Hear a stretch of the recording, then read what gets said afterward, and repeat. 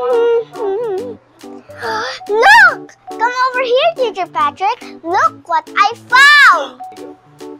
Oh, it's a bottle. But I wonder if there's something inside. Do you want me to check, Sophie? Yes, teacher, yes! How about the kids? Do you want me to check what's inside the bottle? Good! Well, let's find out together. Look, Sophie! Do you know what this is, Soph? It's a treasure map! That's right! Do you think what I'm thinking, Sophie? Yes, Teacher Patrick. Let's go! Treasure hunting! How about you kids? Do you want to find a treasure with us? Good, but before that, we have to pray. Please follow me. I fold my hands, I bow on my head, and close my eyes. Dear Jesus, Dear Jesus, thank you thank you for this wonderful day. for this wonderful day. Guide us Guide us for this treasure hunting for this treasure hunting today. today. In Jesus' name we pray. In Jesus' name we pray. Amen. Yoo-hoo! Let's go! Ahoy!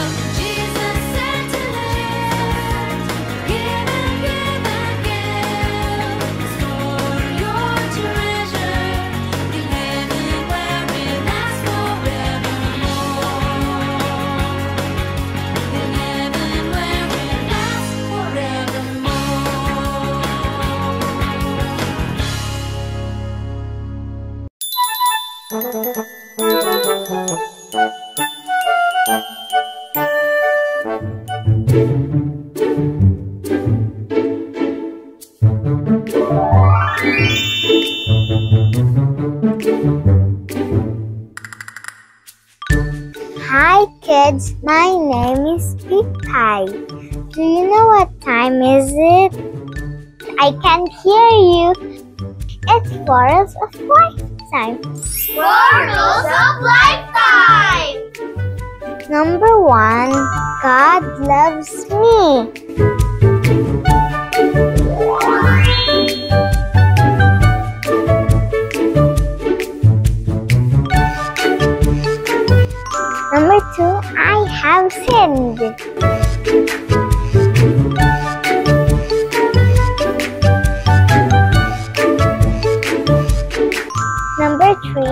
Jesus died for me.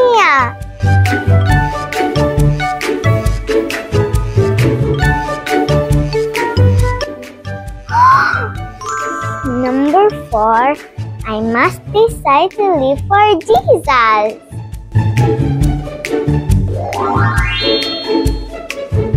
Hey kids, can you recite with me? Good kids.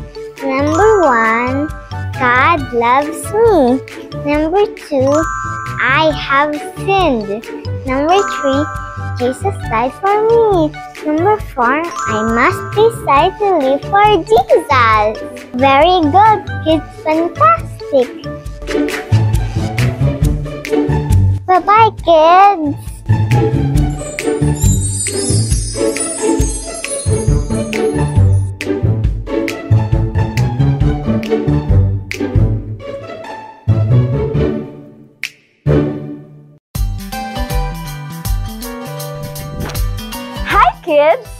My name is Teacher Rova and it's Memory Verse time!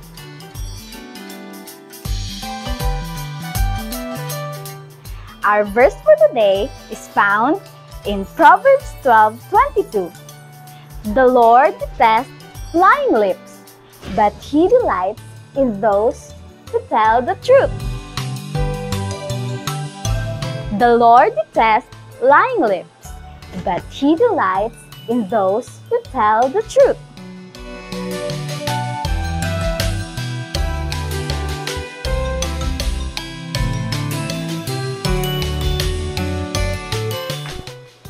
This time, we will have an activity to help us memorize our verse. Are you ready? If you're ready, shout Jesus! Good! Now, we have two treasure boxes, the gold one and the silver one. Which one has the first missing word?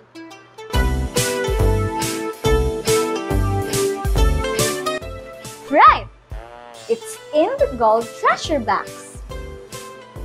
Next, is it this one or this one? Hmm. Good! It's in the silver treasure box.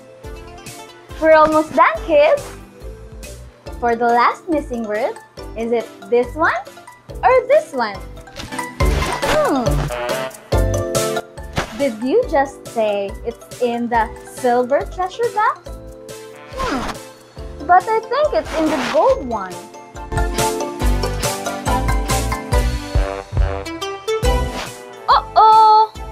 Not the right word. You're right, kids. It's in the silver treasure box. Yay! You did a great job, kids. Now, let's recite our verse once again. Proverbs 12:22. The Lord detests lying lips, but he delights in those who tell the truth. Very, very good. Very, very good. Very good, very good, very, very good. I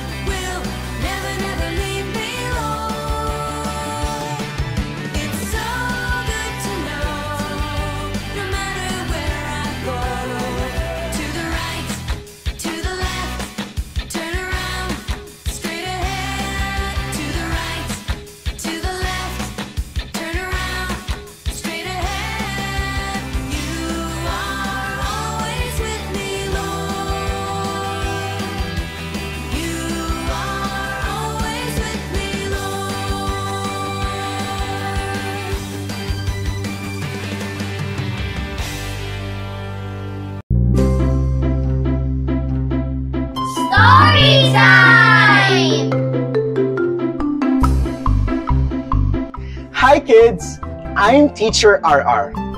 Are you excited to listen to our story today? Great! Kids, have you tried playing hide and seek? Good! I like that game too.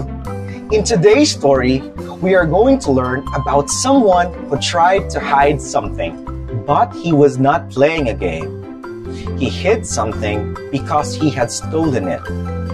He thought no one would ever find it. He even thought that God would never find it. What do you think will happen?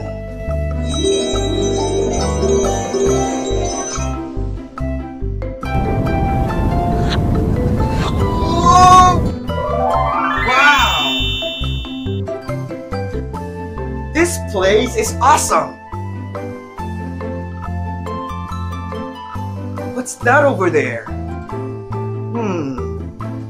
I know that place. That's the camp of the Israelites. Come on, kids. Let's go check it out.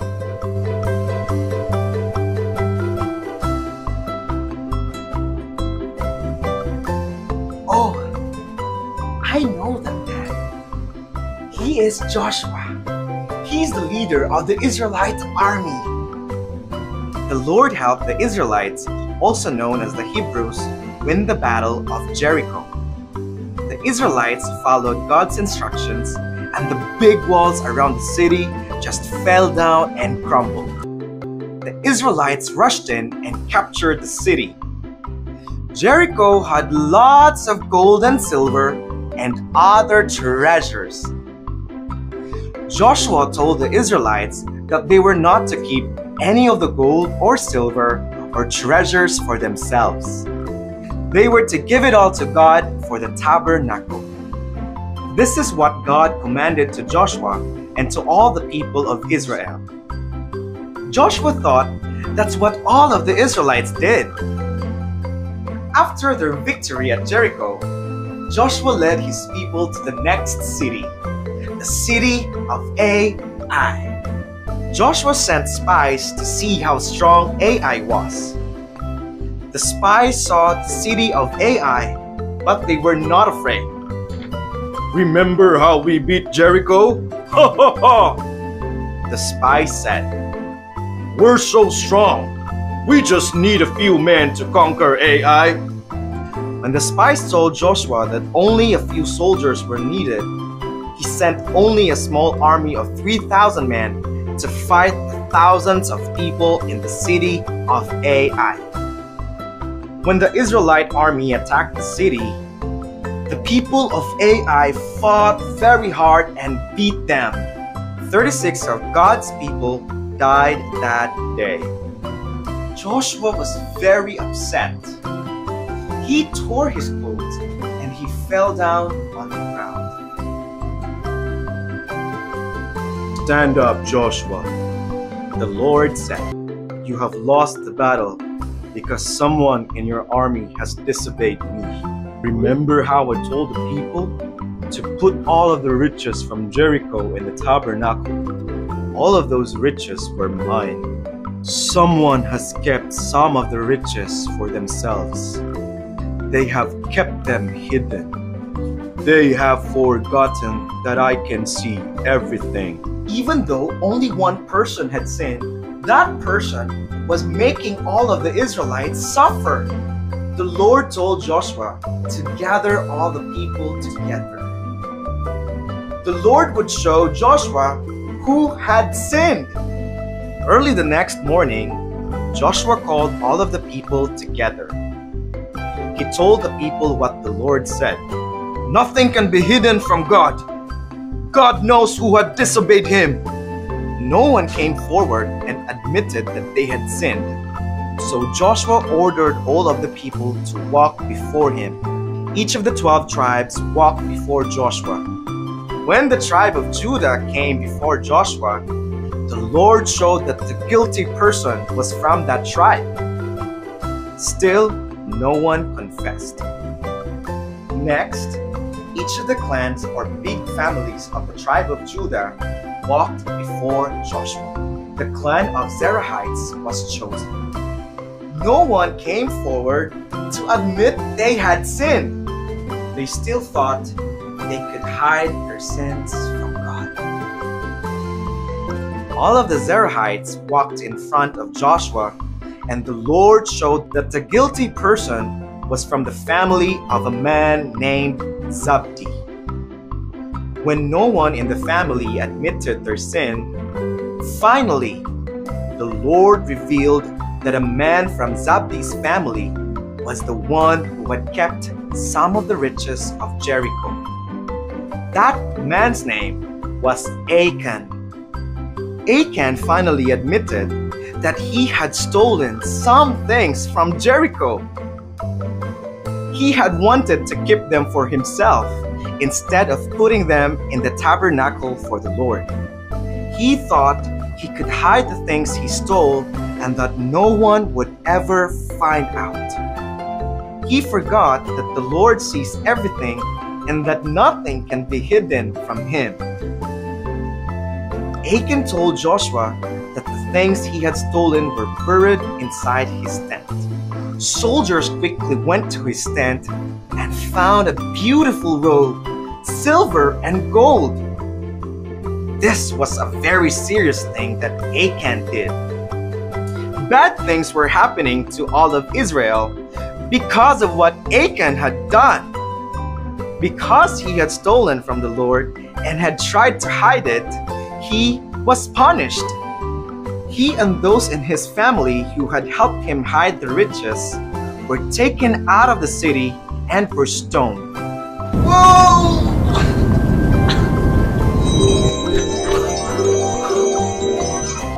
What an adventure it was! Have you learned something from our story today? Great!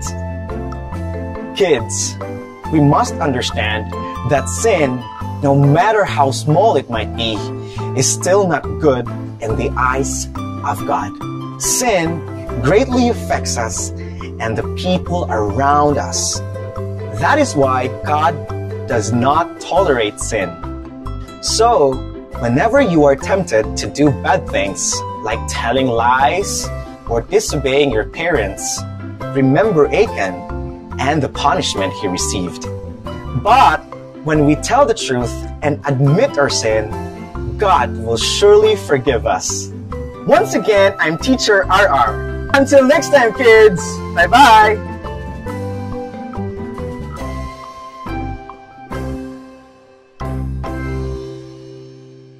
Hi kids! I'm Teacher Lester and today we are going to do some activity that will help us learn more about Jesus. Hello, kids! Hello, Teacher Lester! Hi Alan! Hi Judah! Are you excited for activity today? Yes, Teacher Lester! That's great! So, I have a question. What do you think does a heart shape symbolize? Hmm, I think heart stands for love. That's what my mom told me. To express gratitude as well. That's correct! Guess what? I have a heart-shaped cat out here. Whoa! That's huge! We also need some nails. We got it, Teacher Lester! Awesome! Hmm, kids, do you tell lies? Uh-oh! Well, that's our activity for today. Can you please tell some lies that most kids tell? How about telling our parents that we're done doing our homework? But the truth is, we're not done yet. Yes, that's correct, Alan. By the way, I know a story of a boy who had a bad habit. He kept on telling lies.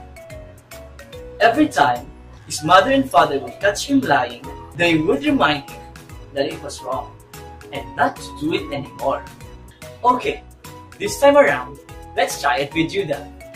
Can you tell us about an incident where you lied and nail it into your heart? When my parents asked me if I'm done taking my vitamins, I said yes. But actually, I did.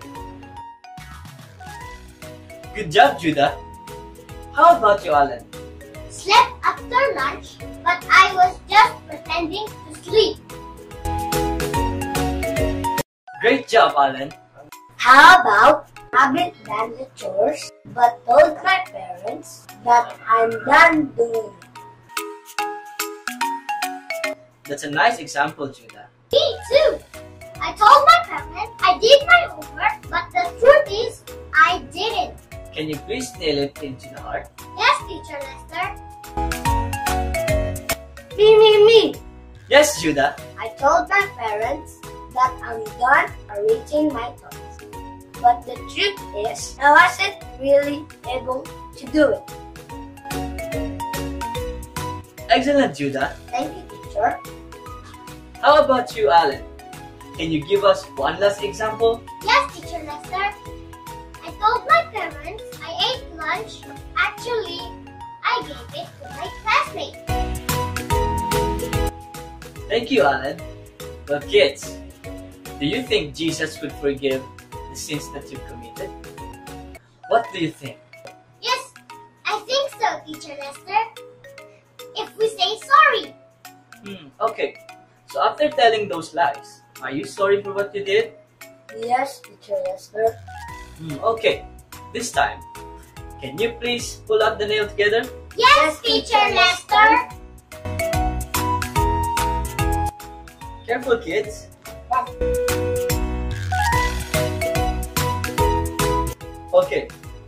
Look at the heart-shaped cat. What do you see? I see all nails are gone, just like how Jesus has forgiven my sin. Yes, that's right, Judah. Thank you. But what else do you see? I can see some holes. That's right, Alan. Look, kids. That's the way with Jesus. He will surely forgive our sins. But we still have to live with the imprints. But He can give you a new heart if you allow Him to change your heart. And remember, lying is not good. Jesus doesn't want us to lie. Instead, He wants us to tell the truth all the time. So that's our activity for the day. I'm Teacher Lester. And I'm Alan. And I'm Judah. Remember, kids, Always Always tell tell the the truth. Bye-bye. See you next time.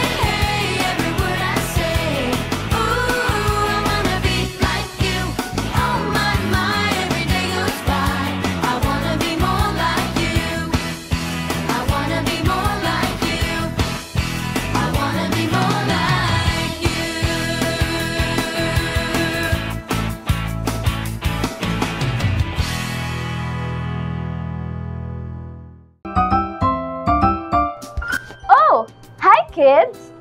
It's me again! Have you enjoyed our adventure today? Me too! I've learned a lot today. But before we end, can we recite our memory verse once again? Good! Proverbs 12 22. The Lord detests lying lips, but He delights in those who tell the truth. Let's do it again. Proverbs 12 22. The Lord detests lying lips, but He delights in those who tell the truth. Very, very good. Very, very good. Very good, very good, very, very good. Goodbye, kids.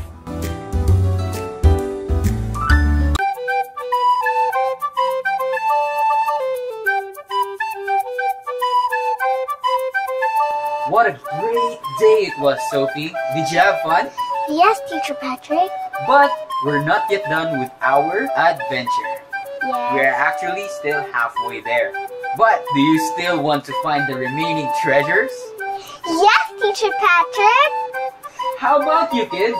Do you still want to find the remaining treasures? Alright! But it's already nighttime and it's time for us to rest. Aw, that's sad. Anyways, let's go next time. Yeah, I think that would be a very good idea, Sophie. Before we take a rest, first we have to pray. Please follow me. I fold my hands, I bow down my head, and close my eyes. Dear Jesus, Dear Jesus, thank you thank you for this wonderful day. for this wonderful day. May we apply We apply everything everything that we learned today. that we learned today. In Jesus' name we pray. In Jesus' name we pray. Amen. See you in our next adventure, kids. Bye bye. Special thanks to the following BCC Kids Church Team, BCC Multimedia Team, and Family Circus Children's Ministry Davao for allowing us to use this material online. And this has been BCC Kids Church. See you next week!